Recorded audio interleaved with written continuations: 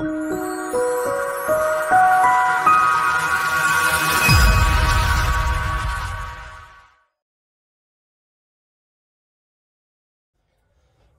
María Purísima, sin pecado concebida. Hoy en el Evangelio leemos del capítulo 5 de San Juan y escuchamos sobre otro signo de Jesús cuando él se acercó a una piscina cerca del templo de Jerusalén que se llama Betzatá. Y allí encuentra a un paralítico que había esperado por muchísimos años para entrar en el agua y recobrar la salud. Y Jesús hace una buena pregunta. ¿Quieres recobrar la salud?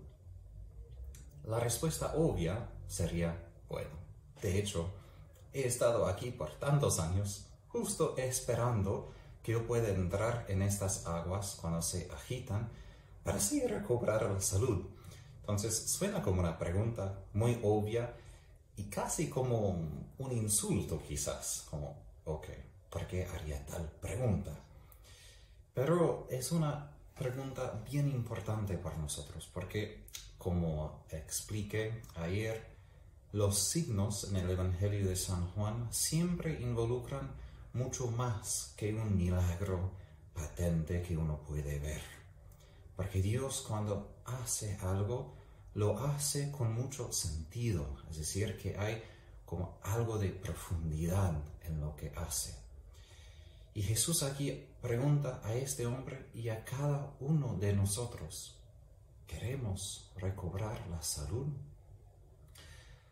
De hecho, queremos decir que sí, queremos decir que Jesús obvio que quiere la salud, de cuerpo, salvación del alma, pero a veces nosotros también estamos un poco apegados a las cosas que nos hacen mal, que aunque nosotros queremos ser sanos y vivos plenamente, de hecho somos lentos a dejar ciertas actitudes, acciones, vicios, pecados que nos quitan la salud.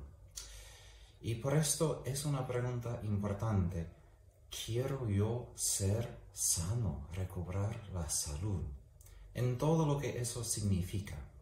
Vemos esto cuando personas, por ejemplo, van a los médicos y los médicos dan recetas, medicinas o dicen que hay que cambiar ciertos hábitos en la vida, como dejar de fumar. Y hay ciertos pacientes que quieren en algún sentido recobrar la salud, dejar el cáncer, quitar el cáncer, pero tampoco quieren dejar de fumar o no quieren comer tan, tan sanamente. Quieren todavía algo como la vida que era, pero justo esta vida era lo que los llevó a la enfermedad. Y así somos nosotros, aunque en la mente sabemos que nos hace mal el pecado, Todavía el corazón dice, pero aun si al fin de cuentas me hace mal por ahora, prefiero esto porque me hace bien al menos en el momento. Es algo que me ayuda simplemente por el momento, aun si luego tengo que cambiar las cosas, arrepentirme, todo esto. Recuerdo cuando yo era novicio en mi comunidad, el maestro noviciado, él me preguntó, o contó, Tadeo, ¿sabes cómo sería tu vida si dejarías todo este enojo? Un enojo que yo tenía porque mi papá se, había muerto recién y había perdido yo y mi papá y mi casa en Texas, todo lo que era mi vida antes de entrar a la vida religiosa. Se fue.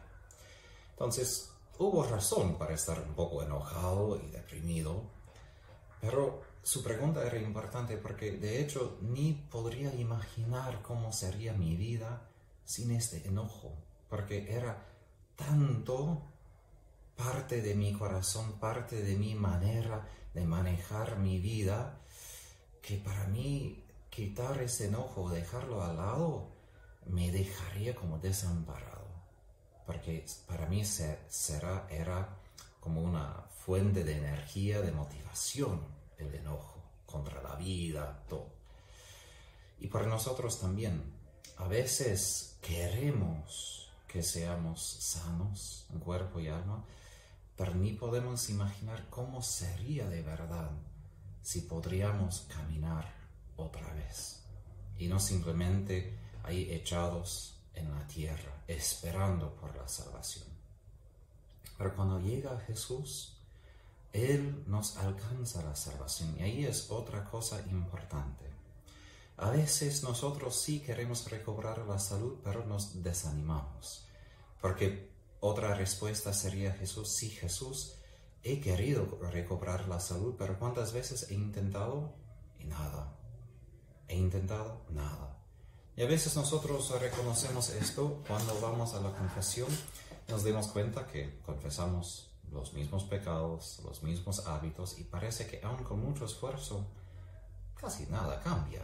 Y a lo largo de los años a veces nos desanimamos y aunque quizás no tan claramente, pero en el corazón empezamos a decir, bueno, nunca voy a cambiar, no puede cambiar, he intentado. Entonces simplemente voy a vivir así, voy a intentar como manejar la vida tal cual es, tal cual soy y dejar de tener tanta energía de cambiar esto. Ahora, esto es muy normal porque a veces cuando nosotros sentimos esperanza y después la esperanza queda defraudada, nos sentimos decepcionados. Y decimos, bueno, intenté, no quiero intentar otra vez porque es muy doloroso esperar, tener esperanza después quedar, quedar decepcionado, defraudado. Es muy doloroso. Por eso a veces decimos, no, ni quiero intentar porque es mejor no intentar y no quedarse así decepcionado, defraudado. Ahora, nuestra parte es preguntar, es el lugar apropiado donde estoy buscando la sanación. Porque es verdad, aparentemente, que en esta piscina, cuando las aguas se agitaban, el primer en ponerse en el agua se sanó de la enfermedad. Pero por este paralítico, obvio que él no alcanzó la salud a través de esto, aún en intentar siempre otra persona yo antes de él. Y nosotros también, quizás lo que sirve por los demás no funciona por nosotros. Y aun si mucha gente a veces puede decir que me funcionó para mí, nosotros sentimos un poco solos o quizás malos que no ha funcionado por mí. A veces lo que sirve para los demás no sirve para nosotros, pero lo que más importante es dónde buscamos la sanación. Y es con Jesús, la persona de Jesús, la persona viva de Jesús. No simplemente ciertas prácticas cristianas que nos salvan, sino Jesús mismo. Y Madre Teresa de Calcuta decía esto a sus hermanas, tengo la duda de que ustedes no conocen a Jesús como persona. Y Juan Pablo II también habló de esto en la nueva evangelización, que hay muchas personas que entienden el cristianismo como un conjunto, un arreglo de moralidad, de creencias, pero no conocen la persona de Jesús resucitado.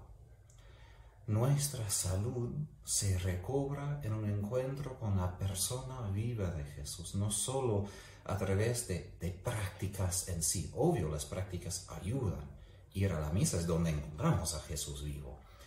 Pero las prácticas mismas en sí no son lo que nos salvan, sino la persona viva de Jesús, como pasó con este paralítico.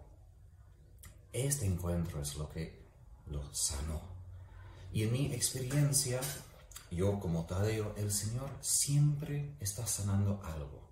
Puede ser que no es la cosa que yo había pedido, quizás que estoy enfermo y pido que me, me quite la enfermedad inmediatamente, no lo va a hacer.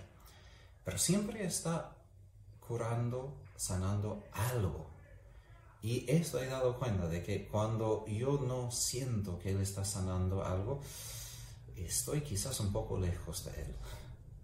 Porque si yo busco a Él como Salvador, quiere decir, Él siempre me está dando algo de la salud.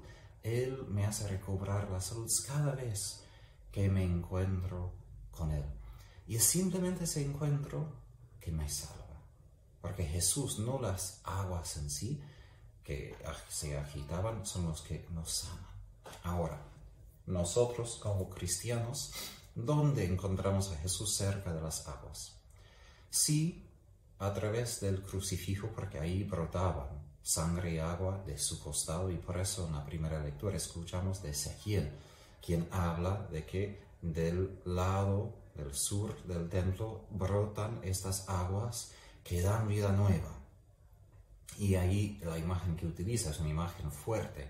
Si podrían imaginar el mar muerto, que es muy muerto, no hay nada que vive en esto fuera de unas bacterias, unas bacterias, y este río de agua viva hace vivo el mar muerto.